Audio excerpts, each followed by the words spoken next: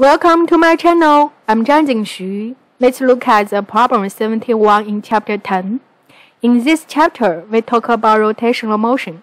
There we consider a ball and it has the rotation, rotational motion and linear motion.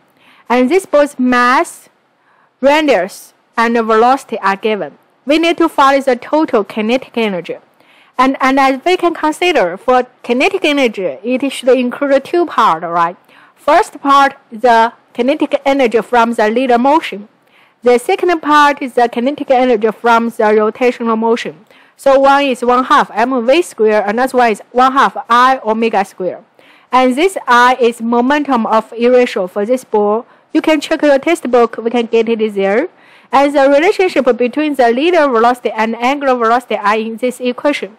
Now you can see the v is given, so we should in, input omega inside in this function, right? And the i, momentum of inertia at there.